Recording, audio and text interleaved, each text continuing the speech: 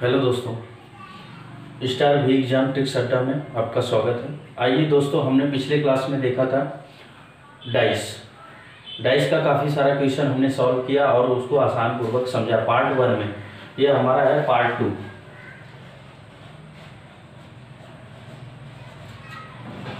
Part one हम सीख चुके हैं और अब सीखेंगे पार्ट टू पार्ट टू में हम क्या सीखेंगे? खुला पासा, यानी ओपन डाइस ओपन डाइस इसको हिंदी में कहते हैं खुला पासा। और हमारा खुला पासा कौन है? ये कैसा पासा है? ये बंद पासा है। और ये खुला पासा है। सबसे पहले पहचान देखेंगे कि हमारा खुला पासा कैसा होता है। तो हमारा खुला पासा ऐसा होता है। यह इसका बंद पासा है। तो हमने पिछली क्लास क्लास में देखा था। डाइस दो प्रकार का होता है। कौन कौन सा? एक जनरल डाइस होता है, एक स्टैंडर्ड। मैंने कहा था कि अगर नज़दीक वाले अंकों का योग सात हो जाएगा तो वह कौन सा डाइस कहलाएगा? जनरल डाइस कौन सा डाइस होगा?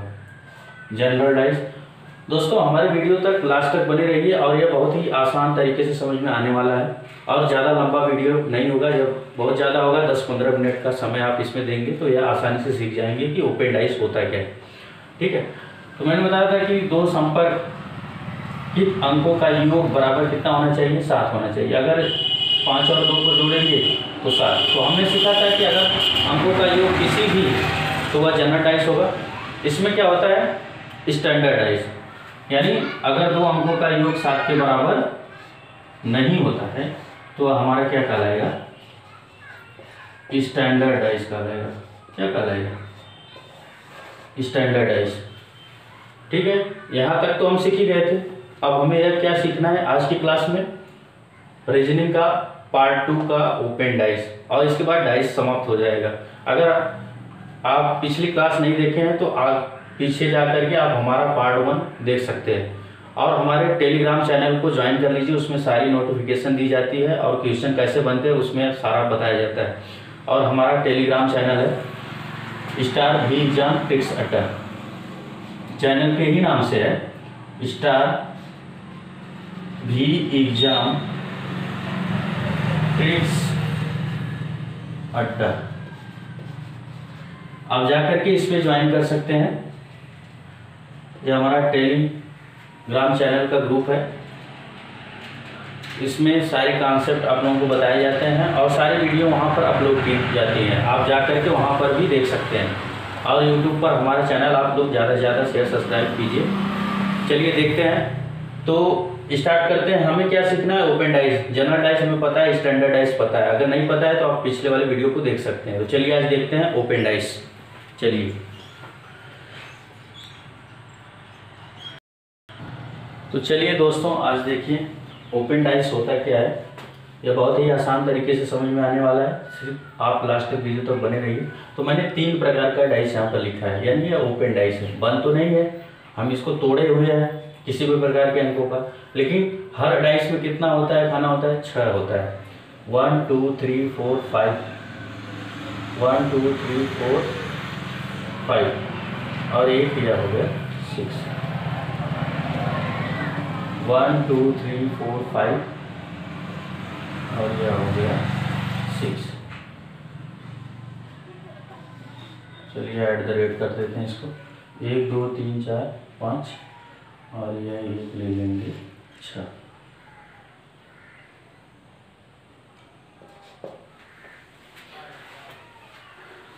अगर इस तरह का क्वेश्चन दिया रहता है यह इसका ढेर सारा क्वेश्चन आपको देखने को मिल जाएगा एसएससी बैंक रेलवे में। ज़्यादातर पूछे जाने वाला क्वेश्चन है और यह बहुत ही आसान होता है और इससे दो नंबर फिक्स होते हैं आपका दो क्वेश्चन फिक्स होता है। तो चलिए देखते हैं दो क्वेश्चन हमारा कौन सा होता है। तो सबसे पहले डाइस हम सीखते हैं, डाइस में कैसे होता है। तो ओपन डाइस सीखने के लिए सबसे पहले हम क्या करते हैं, अल्टरनेट। अल्टरनेट मतलब समझ नहीं रहे हैं आप लोग। अल्टरनेट। अल्टरनेट नंबर को हम लेंगे को हम लेंगे। तो अल्टरनेट का मतलब यह है कि मान लीजिए एक है, एक के बाद दो है, तीन है। ठीक है? तो अल्टरनेट नंबर अल्टरनेट नंबर मतलब ये छोड़ करके फिर ऐसे ऐसे रहेगा। तो यहाँ पर फोर नहीं रहेगी, यहाँ पे फाइव हो जाएगा। तो ये अल्टरनेट नंबर का लगता है। तो सबसे पहले अल्टरनेट नंबर देखेंगे। तो ओपन डाइस का रूल ही होता है अल्टरनेट नंबर पर ही होता है। तो चलिए अल्टरनेट नंबर कैसे निकालते हैं, यानी विपरीत, क्या होता है उसके? तो हम देखते हैं इसको। तो अल्टरनेट मतलब समझ गए कि एक पे छोड़ करके एक बाद का, ठीक है?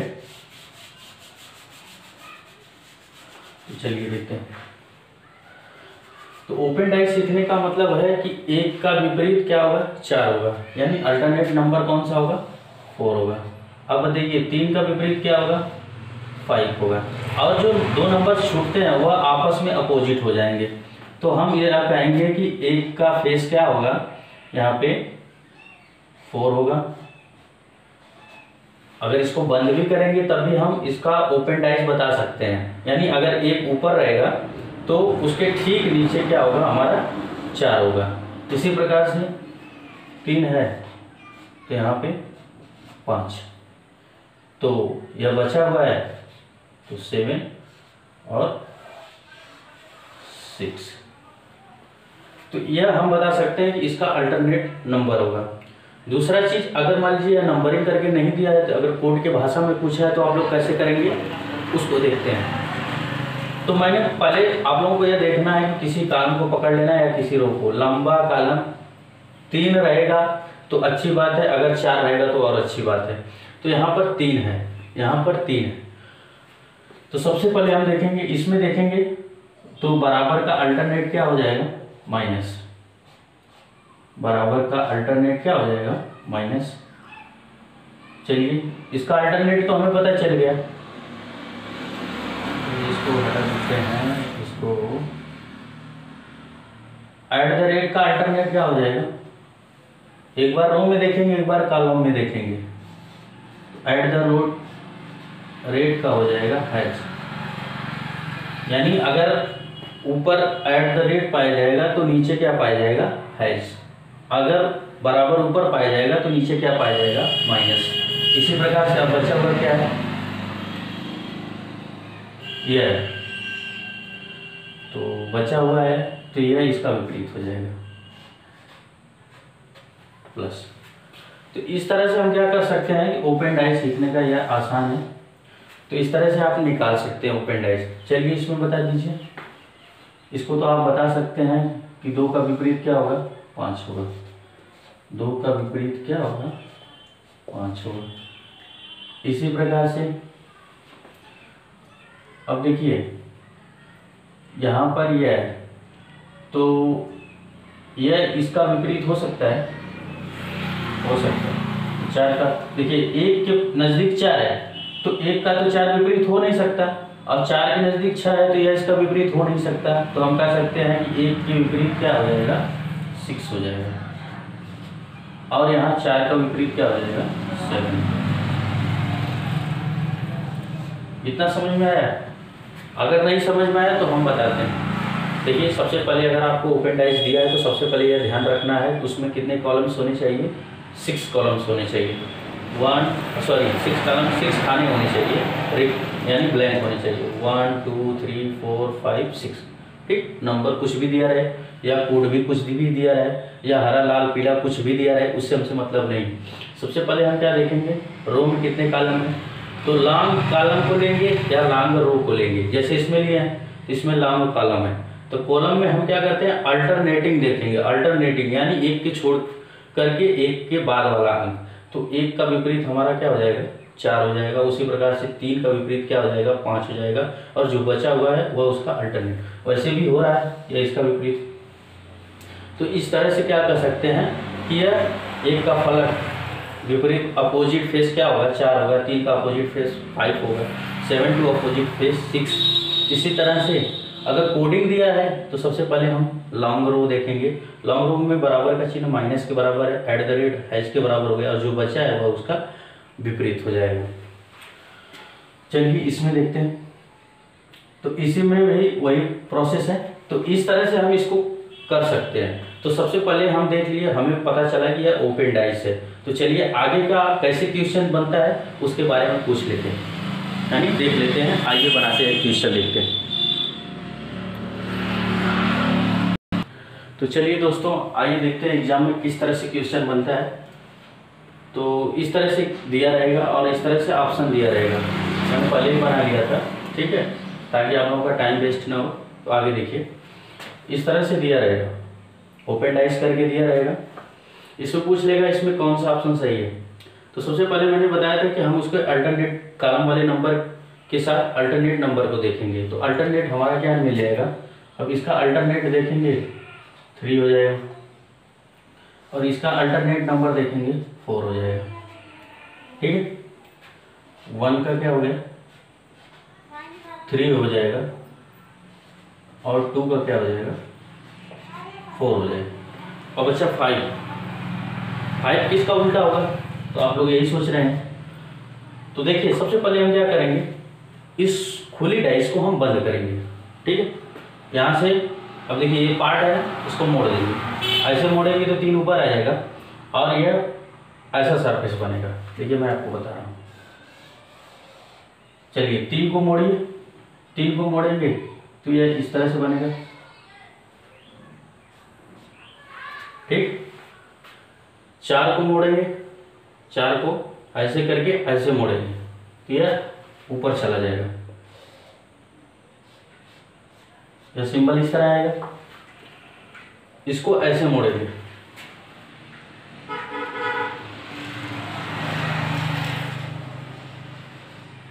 ठीक? अब इसको ऐसे मोड़ेंगे तो पाँच कहाँ चला गया? पाँच ऐसे से मोड़ने पर पाँच एकदम पीछे चला गया, यानी उसके अपोजिट हो गया। और ये सामने, जो ये चारों कटा पर भाग है यह आके सामने पड़ जाता है। तो यानी एक सिंबल, यानी एक फिगर बन गया। तो यह एक क्या हो गया? कॉलम हो गया। मान लीजिए किसी डाइस को हमने चार भाग में काट दिया ठीक? चार भाग में काट दिया और एक टुकड़ा को हमने यहाँ पे लगा दिया चलिए एक टुकड़ा बना लेते हैं, इसको हटा देते हैं। कट गया? अब इसको उठा करके हमने यहाँ सेट कर दिया इसको उठा करके हमने यहाँ सेट कर दिया इसको उठा करके यहाँ सेट कर दिया। इसको उठा करके यहाँ। इसी तरह से क्वेश्चन बनता है डिफ़िकल्ट क्वेश्चन बनता है, लेकिन आप लोगों को बहुत ही आसान तरीके से समझ में आने वाला है। तो मैंने बताया था, सबसे पहले ओपन डाइस हम क्या करेंगे? अल्टरनेट नंबर को देखेंगे। वन थ्री टू फोर ठीक? फाइव फाइव को जैसे ही करेंगे तो इसका अल्टरनेट हमें क्या मिल जाएगा? या तो ऐसे कर सकते हैं।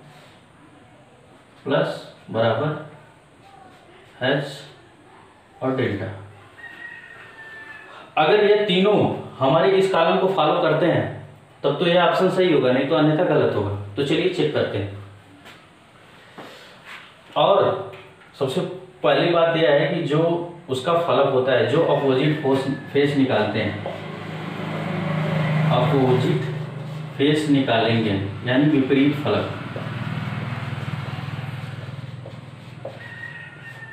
विपरीत फलक में हमें क्या मिलता है? कि एक नंबर सामने दिखता है, लेकिन उसका विपरीत वाला नंबर हमें नहीं दिखना चाहिए। ठीक है? तो चलिए देखते हैं। पहले वाले ऑप्शन में एक है, तीन नहीं है।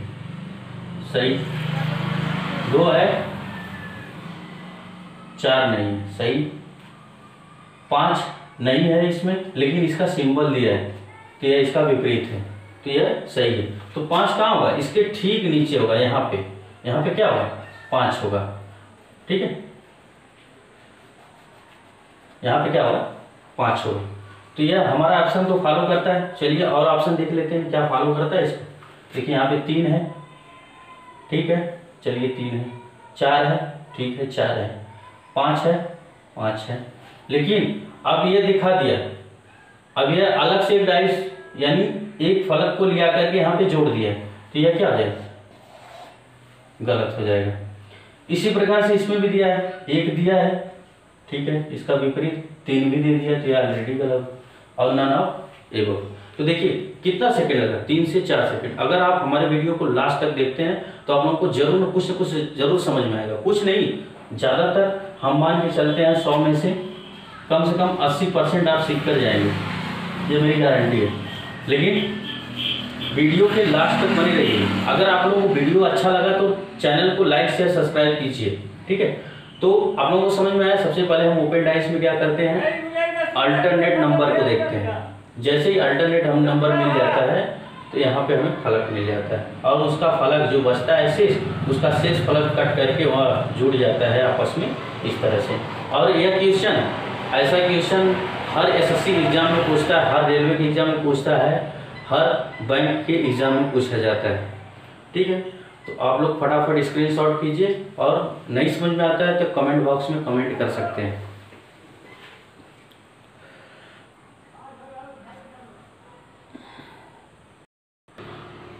तो चलिए दोस्तों, आगे देखिए। अगर इस टाइप का क्वेश्चन दे दिया आपसे एग्ज़ाम में, ठीक है? तीन प्रकार का प्रश्न है। और एग्ज़ाम में ऐसा ही क्वेश्चन पूछा जाता है। पढ़ाने को लोग लोग तो बहुत कुछ पढ़ाते हैं, लेकिन मेरा तरीका अलग है और समझाने का तरीका अलग है। आप लोग देख ही सकते हैं। और जो मैं पढ़ाता हूँ, जो समझाता हूँ उससे 90 परसेंट बच्चे सीख कर जाते हैं। तो वीडियो के लास्ट तक बने रहिए और देखिए कैसे सिखाते हैं। अभी पिछले तक आप लोग देख ही चुके हैं। तो चलिए आगे का वाला क्वेश्चन आप लोग सॉल्व कीजिए। और चलिए फटाक से, इसमें तीन सेकंड लगना चाहिए हर एक प्रकार के क्वेश्चन नहीं आएगा तो मैं बताऊँगा। अभी चलिए कीजिए आप लोग।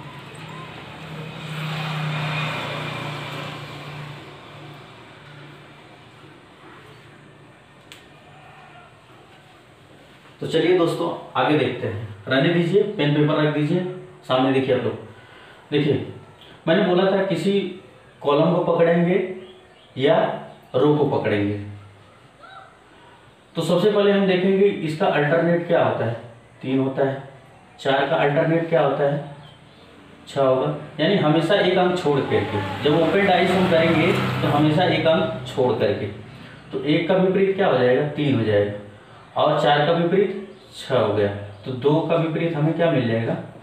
पाँच होगा तो हमें यही तो आंसर देना था कि दो का अपोजिट फेस क्या होगा? यानी फाइव होगा फाइव होगा। यानी विपरीत फलक क्या होगा? पाँच होगा। तो देखिए, तीन सेकंड मतलब तीन सेकंड भी नहीं लेते। इस तरह से इस वाले में क्वेश्चन में करेंगे तो इसका अपोजिट थ्री हो जाएगा।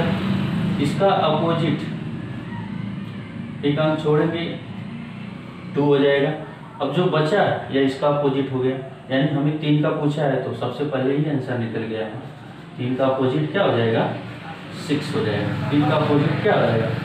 सिक्स हो जाएगा। देखिए, आपके सामने छः का विपरीत तीन है, दो का विपरीत सात है तो चार का विपरीत क्या हो जाएगा? वन हो जाएगा। चलिए, ये भी क्वेश्चन सही हुआ। इस तरह से चार ऑप्शन दिया रहेगा, आपसे पूछ लेगा। इस वाले में अभी आप, अभी पिछले वाले वीडियो में आप लोगों को बताए सॉरी यहाँ पे मिस्टेक हो गया, थोड़ा सा, कटा हुआ फ्लक है। इसको काट देते हैं। देखिए, इसको काट दिए। ठीक है? उसमें पूछा है अपोजिट दो का क्या होगा? तो हमें कुछ ज़्यादा करना नहीं है। हमें क्या करना है? सिर्फ़ इसका ही दिखाना है। तो आप लोगों को मालूम है, एक का विपरीत क्या होगा? पाँच होगा। और सॉरी चार का विपरीत पाँच होगा, एक का विपरीत तीन होगा। लेकिन दो का विपरीत तो दो का विपरीत निकालने के लिए हम इसको तोड़ेंगे। तो सबसे पहले यहाँ पे हम क्या लिखेंगे? गुड़े?